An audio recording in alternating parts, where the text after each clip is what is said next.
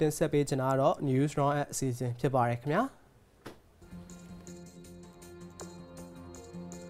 မစ္စည်းမမီဒီယာဂရုနဲ့ Action Aid တို့ပူးပေါင်းပြီးမြမမီဒီယာဖွံ့ဖြိုးမှုစကားဝိုင်းဆွေးနွေးပွဲကိုဖေဖော်ဝါရီ22ရက်နေ့ကရန်ကုန်မြို့နိုဗိုတယ်ဟိုတယ်မှာကျင်းပသွားပါတယ်။ဒီဆွေးနွေးပွဲမှာအစိုးရတဲ့လက်ထက်မြမအတန်နဲ့ရုပ်မြင်သံကြားအပါအဝင်နိုင်ငံပိုင်သတင်းစာတွေကိုပုဂ္ဂလိကပိုင်းဖြစ်ပြောင်းလဲဖို့ကိစ္စတွေနဲ့ပတ်သက်ပြီးသတင်းမီဒီယာအဖွဲ့အစည်းတွေကတာဝန်ရှိသူတွေတန်ယုံတာဝန်ရှိသူတွေနဲ့အရက်ဖက်အဖွဲ့ကိုယ်စားလှယ်တွေကအကြံပြုဆွေးနွေးခဲ့တာပါ။ ဒါပြင်မီဒီယာသမားတွေအတွက်အရေးသွေးမြင့်တင်ပေးတာတွေနဲ့တိုင်းရင်းသားမီဒီယာတွေရဲ့အခမ်းကဏ္ဍမြင့်တင်နိုင်မှုအတွက် NLD အစိုးရအနေနဲ့ထောက်ပံ့မယ်လို့သိရပါတယ်။ဒီဆွေးနွေးပွဲအတွင်းအစိုးရသစ်လက်ထက်ရုပ်သံထုတ်လွှင့်ခွင့်လိုင်စင်ချထားပေးရေးကိစ္စတွေဖန်ဆီးခံမီဒီယာသမားတွေအတွက်အကာအကွယ်ပေးရေးအပါအဝင်မီဒီယာကဏ္ဍနဲ့ပတ်သက်တဲ့အကြံပြုချက်တွေကိုလည်းဆွေးနွေးခဲ့ကြပါတယ်။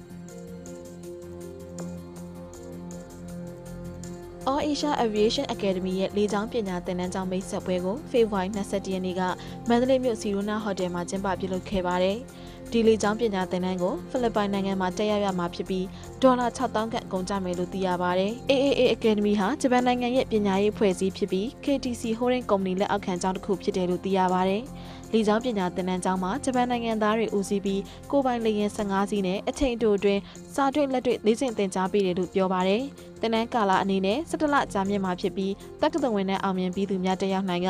တင်နန်းကျေးဒေါ်လာ6000ကို9ရက်ခွဲပေးသွင်းရမှာဖြစ်ပါတယ်။တင်နန်းပြီးရင်တော့လေကြောင်းပညာကျောင်းစင်တွေကိုပြည်ရင်းပြည်ပရှိလေကြောင်းလိုင်းတွေမှာအလုပ်လုပ်ကင်နိုင်မှုအာမခံပေးတယ်လို့သိရပါတယ်။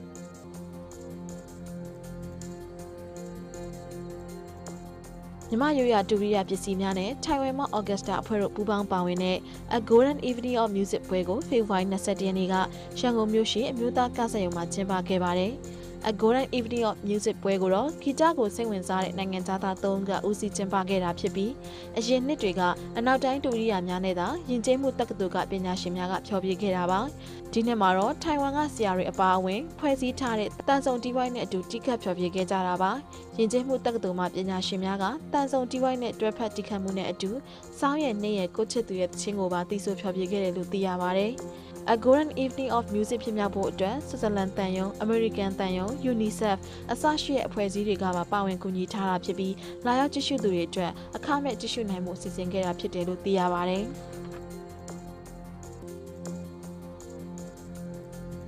ပကြီးကအမည်တွေကိုနိုင်ငံတကာနည်းပညာရှင်များနဲ့ပြည်တွင်းနည်းပညာရှင်များရဲ့အမည်တွေပေးထားပြီးမင်းမပြိုများရဲ့ဂျန်နာကြီးလိုအမည်ပေးထားတဲ့သူရိလှိုင်ရဲ့ပကြီးပြပွဲကိုဖေဖော်ဝါရီလ20ရက်နေ့ကနေ31ရက်နေ့ထိ3ရက်ကြာ Gallery 65မှာပြသနေတာဖြစ်ပါတယ်။ ဓာတ်ပုံပညာရှင်တဦးဖြစ်တဲ့သူရိန်လိုင်ဟာသူ့ရဲ့ပကြီးကားအများစုကို